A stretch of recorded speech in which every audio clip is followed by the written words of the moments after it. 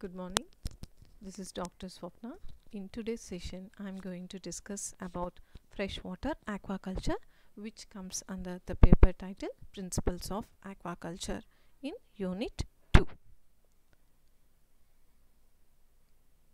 Coming to the fresh water aquaculture అసలు fresh water aquaculture అంటే ఏంటి అంటే మంచి నీటిలో మనం ఆక్వాటిక్ ఆర్గానిజమ్స్ని కల్చర్ చేసినట్టయితే that is called as fresh water aquaculture అసలు ఫ్రెష్ వాటర్ ఆక్వాకల్చర్లో ఏమేం రిసోర్సెస్ ఉంటాయి? What are the fresh water resources మంచినీటి వనరులు అసలు ఏంటి ఏంటి అనేవి మనం ఈ ఫ్రెష్ వాటర్ ఆక్వాకల్చర్లో నేర్చుకుంటాం.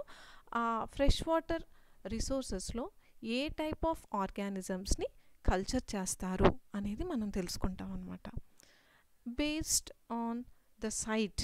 అలాగే based on the habitat.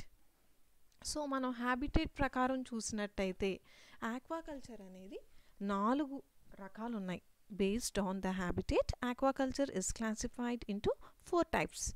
Like inland aquaculture brackish water aquaculture mariculture metahaline aquaculture. So inland ఆక్వాకల్చర్ని fresh water aquaculture అని కూడా అంటారు. అలాగే బ్రాకిష్ వాటర్ ఆక్వాకల్చర్ని ఇస్టరైన్ ఆక్వాకల్చర్ అంటాము మ్యారీకల్చర్ని మెరైన్ ఆక్వాకల్చర్ అంటాము and metahaline aquaculture. Habitat ప్రకారం చూసినట్టయితే ఆక్వాకల్చర్లో ఈ ఫోర్ టైప్స్ ఉన్నాయి. ఇందులో మనం మొట్టమొదటిది ఫ్రెష్ వాటర్ ఆక్వాకల్చర్ నేర్చుకుంటాం. దట్ ఈజ్ ఇన్లాండ్ ఆక్వాకల్చర్ అని కూడా అనొచ్చు అనమాట so based on the site చూసినట్టయితే ఇది it is classified into following types ఏంటవి pond culture reservoir culture riverine culture Pokkali culture bheri culture salt pan culture tank culture raceway culture cage culture and pen culture so based on site సైట్ని బట్టి aquaculture అనేది ఈ ఇన్ని రకాలుగా వర్గీకరించడం జరిగిందనమాట so based on the variety of fishes stocked aquaculture is classified into the following types. So variety of fishes అంటే మనం ఈ ఏ ఈ చెరువుల్లో కానివ్వండి లేదంటే రివర్స్లో కానివ్వండి మనం ఏ టైప్ ఆఫ్ ఫిషెస్ని వేస్తామో దాన్ని బట్టి కూడా ఆక్వాకల్చర్ అనేది it is it is classified into following types ఏంటి? Monoculture polyculture monosex culture so monoculture అంటే మనం పాండ్స్లో ఒకే టైప్ ఆఫ్ సెక్స్ ఎయిదర్ మేల్స్ని కానీ ఫీమేల్స్ని కానీ మనం ఏదో ఒకదాన్ని మాత్రమే సెలెక్ట్ చేసుకొని కల్చర్ చేసినట్టయితే దాన్ని మోనోకల్చర్ అంటారు. Next polyculture poly means many ఒక పాండ్లో ఒక చెరువులో చాలా రకాలైనటువంటి చేపల్ని వేసి మనం కల్చర్ చేసినట్టయితే దాన్ని పాలీకల్చర్ అంటారు. సో పాలీకల్చర్ అంటే ఫర్ ఎగ్జాంపుల్ మేజర్ కార్ప్స్ వస్తాయి మైనర్ కార్ప్స్ వస్తాయి ఎగ్జోటిక్ కార్ప్స్ ఈ మూడు రకాల చేపల్ని వాడతారనమాట పాలీకల్చర్లో. నెక్స్ట్ మోనో సెక్స్ కల్చర్ ఏదో ఒక సెక్స్ని మాత్రమే యూస్ చేస్తే దాన్ని మోనో సెక్స్ కల్చర్. ఇక్కడ పైన మోనో కల్చర్ అంటే ఏంటి అంటే ఎయిదర్ ఏదో ఒక సింగిల్ స్పీషస్ని మాత్రమే కల్చర్ చేస్తే that is called as monoculture. ఒక్కసారి చూసుకుందామా మోనోకల్చర్ అంటే ఏదో ఒక స్పీషస్ని మాత్రమే కల్చర్ చేస్తే దాన్ని మోనోకల్చర్ అంటారు. మోనోసెక్స్ కల్చర్ అంటే ఏదో ఒక సెక్స్ని మాత్రమే కల్చర్ చేసినట్టయితే దాన్ని మోనోసెక్స్ కల్చర్ అంటారు. Next based on the culture with other organisms. Aquaculture is classified into the following types. అంటే based on culture with other organisms అంటే మనం ఒక దాన్ని కల్చర్ చేస్తూనే వేరే ఆర్గానిజమ్స్ తోటి. ఫర్ ఎగ్జాంపుల్ దీన్నే ఇంటిగ్రేటెడ్ ఆక్వాకల్చర్ అని కూడా అంటారు. For example poultry cum fish culture or duck cum fish culture pig cum fish culture dairy cum fish culture paddy cum fish culture. So ఇవన్నీ కూడా దేంట్లోకి వస్తాయి అంటే ఇంటిగ్రేటెడ్ ఆక్వాకల్చర్ కిందకి వస్తాయి అన్నమాట సో ఇంటిగ్రేటెడ్ అంటే ఏంటి అని అంటే ఇక్కడ మనం పైన పౌల్ట్రీ ఒక పాండ్ కింద పాండ్ ఉంటుంది. పైన పౌల్ట్రీ ఫామ్ ఉంటుందన్నమాట. ఈ పౌల్ట్రీ ఫామ్ రిలీజ్ చేసే వేస్ట్ అంతా కూడా డైరెక్ట్గా that is the excretory material that is released by the hens. అవన్నీ కూడా దేంట్లోకి రిలీజ్ అవుతాయి? డైరెక్ట్గా పాండ్లోకి రిలీజ్ అవుతాయి అనమాట నా those excretory materials which are consumed by the fish అంటే ఒక ఆర్గానిజం ఆర్గానిజమ్స్ యొక్క వేస్ట్ ఇంకొక ఆర్గానిజంకి ఇక్కడ ఉపయోగపడుతున్నాయి అన్నమాట అలా ఉపయోగకరంగా ఉన్నట్టయితే that type of culture is called as integrated aquaculture అంటారు దాన్ని. Next based on the climatic conditions aquaculture is classified into two types warm water aquaculture cold water aquaculture so climatic కండిషన్స్ని బట్టి ఆక్వాకల్చర్ అనేది మళ్ళీ రెండు విధాలుగా వర్గీకరించడం జరిగింది. ఒకటి వామ్ వాటర్ ఆక్వాకల్చర్ రెండోది cold water culture so fish culture with sewage water is called sewage fed fish culture so fish culture sewage వాటర్లో జరిగినట్టయితే that is called as sewage fed fish culture అంటారనమాట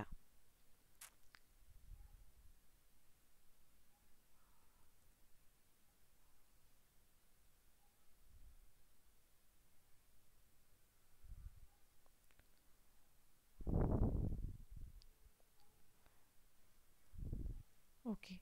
Next one is freshwater aquaculture. The rearing of aquatic organisms in freshwater is called freshwater aquaculture. So aquatic ఆర్గానిజమ్స్ని fresh వాటర్లో culture చేసినట్టయితే దాన్ని fresh water aquaculture అంటారు. It is also called inland aquaculture దీన్నే inland aquaculture అని కూడా అంటారు. The fresh water bodies remain within the land fresh water bodies అనేది ఎప్పుడు కూడా which are present on the land the fresh water in fresh water Indian major carps exotic carps tilapia cat fishes air breathing fishes fresh water prawns etcetera are reared so మనం fresh water తీసుకున్నట్టయితే ఇందులో ఎక్కువగా Indian major కార్ప్స్ని exotic కార్ప్స్ని so major carps major carps అంటే ఏమేమి వస్తాయి? కట్ల labeo cirrhinus mrigala ఇవన్నీ కూడా మేజర్ కార్ప్స్ అంటారు. Next exotic carps silver carps కానివ్వండి మిర్రర్ కార్ప్స్ కానివ్వండి గ్రాస్ క్రాప్స్ కానివ్వండి all these comes under exotic carps next tilapia cat fishes air breathing fishes like channa striatus channa punctatus channa marulius all these comes under air breathing fishes అంటే ఇవి నీరు లేకపోయినా కూడా ఆక్సిజన్ని తీసుకొని బ్రతికేటువంటి బురద నేలల్లో కూడా బ్రతికేటువంటి చేపల్ని ఎయిర్ బ్రీతింగ్ ఫిషెస్ అంటారనమాట and also fresh water prawns etcetera are reared. వీటన్నిటినీ కూడా ఫ్రెష్ వాటర్లో కల్చర్ చేస్తారనమాట the fresh water aquaculture is classified into the following types.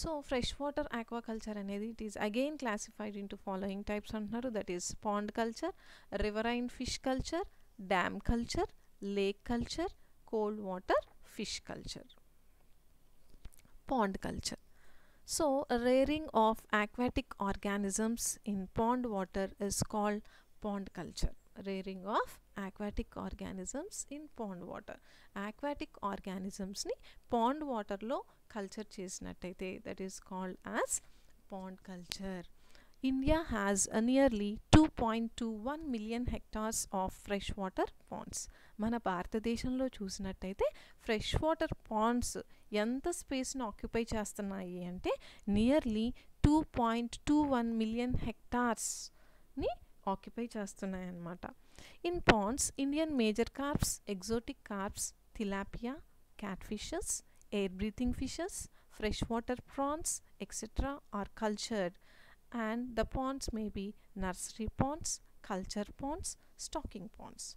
So పాండ్స్లో ఎక్కువగా ఏ వేటిని ఏ చేపల్ని కల్చర్ చేస్తారు అంటే ఇండియన్ మేజర్ కార్ప్స్ని ఎగ్జోటిక్ కార్ప్స్ని తిలాపియాని క్యాట్ ఫిషెస్ని air breathing ఫిషెస్ని fresh water prawns that is macrobrachium rosenbergii etcetera వీటన్నిటినీ కూడా కల్చర్ చేయటం జరుగుతుందన్నమాట. సో ఇక్కడ పాండ్స్కి వచ్చేటప్పటికి మూడు రకాలైనటువంటి పాండ్స్ ఉన్నాయి. ఏంటేంటవి? Nursery ponds culture ponds stocking ponds so nursery ponds దేనికి ఉపయోగపడతాయి అంటే hatchlings are reared up to fingerlings ఇక్కడ ఏంటంటే అప్పుడే ఎగ్ నుంచి హ్యాచ్ అయ్యి బయటకు వచ్చినటువంటి వాటిని హ్యాచ్లింగ్స్ అంటారు. వాటిని రేర్ చేయటం జరుగుతుందన్నమాట నర్సరీ పాండ్స్లో ఎప్పటి వరకు రేర్ చేస్తారు? అవి ఫింగర్లింగ్స్ స్టేజ్ వచ్చేంత వరకు కూడా వాటిని నర్సరీ పాండ్స్లో రేర్ చేయటం జరుగుతుంది. Next culture ponds. ఈ కల్చర్ పాండ్స్లో వేటిని రేర్ చేస్తారు అంటే ఫింగర్లింగ్స్ని తీసుకొచ్చి రేర్ చేస్తారనమాట నెక్స్ట్ స్టాకింగ్ పాండ్స్. స్టాకింగ్ పాండ్స్లో చూసినట్టయితే young fishes are reared till they harvest. So అవి మార్కెటబుల్ సైజ్ రీచ్ అయ్యేంత వరకు కూడా వాటిని యంగ్ ఫిషెస్ని స్టాకింగ్ పాండ్స్లో రేర్ చేయటం జరుగుతుంది. In nursery ponds the hatchlings are reared the hatchlings grow into fingerlings in the nursery ponds. So nursery పాండ్స్లో హ్యాచ్లింగ్స్ని రేర్ చేస్తారు. ఈ హ్యాచ్లింగ్స్ అనేవి ఫింగర్లింగ్స్ కింద మారతాయి నర్సరీ పాండ్స్లో అని చెప్తున్నారు. Next in culture ponds. Culture పాండ్స్లో చూసినట్టయితే ఫింగర్లింగ్స్ అనేవి రేర్ చేస్తారు. స్టాకింగ్ పాండ్స్లో చూసినట్టయితే యంగ్ ఫిషెస్ని రేర్ చేస్తారు. అవి మార్కెటబుల్ సైజ్ రీచ్ అయ్యేంత వరకు కూడా అదే పా in ponds number of culture practices such as monoculture monosex culture polyculture వీటన్నిటినీ కూడా practices which are culture practices which are seen in ponds so ఇవన్నీ కూడా పాండ్స్లో మనం చూసేటువంటి కల్చర్ ప్రాక్టీసెస్ అన్నమాట. Next one is riverine fish culture so fresh water aqua కల్చర్లో first pond గురించి నేర్చుకున్నాము. సెకండ్ది riverine fish culture. So rearing of fishes in running water is called riverine fish culture. Running వాటర్లో మనం ఫిషెస్ని రేర్ చేసినట్టయితే దాన్ని రివరైన్ ఫిష్ కల్చర్ అంటారు. And the following are the important rivers used for aquaculture in India. So important rivers so important rivers ఆక్వాకల్చర్కి use చేసేటువంటి ఈ important rivers ఏంటి?